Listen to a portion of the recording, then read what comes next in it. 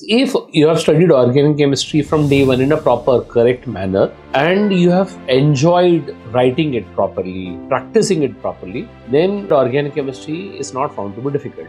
But you are that kind of a student who has not studied properly, who has not practiced often all the basics of organic chemistry, then maybe after three, four chapters of organic chemistry, like after general organic chemistry, after hydrocarbon, after haloalkane haloarene, you realize now that I want to study back, then you may find it very, very difficult and unmanageable. The reasons are that organic chemistry requires a lot of basic foundation building. If that is not properly done, you will find it difficult. Now, how to manage if you are facing such kind of a difficulty? Then suggestion is that go back to the first chapter, that is general organic chemistry, basics of organic chemistry. Understand those basics, practice objective questions of that, then move on to the next chapter like hydrocarbon. Do sufficient amount of reaction practice flow charts practice, solve plenty of MCQs, then you will be able to get that idea, central idea of how to go about organic chemistry. Then you may find your journey of organic chemistry becoming more easy.